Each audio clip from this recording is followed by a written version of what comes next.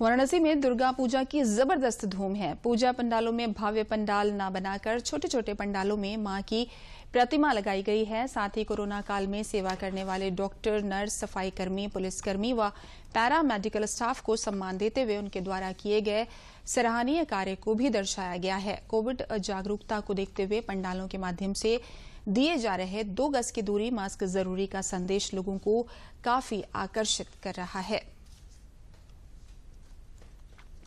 मैं सं, इसमें संदेश यही देना चाह रहा हूँ कि ये डॉक्टर लोग जो हम लोग के डॉक्टर नर्सेस और सफ़ाई कर्मी जो भगवान का रूप मान लीजिए इनको और ये लोग हमारे इस कोरोना काल में भगवान के ही दर्जा दिया जा रहा है और हम लोग यही दर्शाया मूर्ति में दर्शाया जा रहा है अपने प्रतिमा में कि ये लोग इतना सहायता किए हम लोग का और ये उनको भगवान का दर्जा हम लोग दे रहे हैं।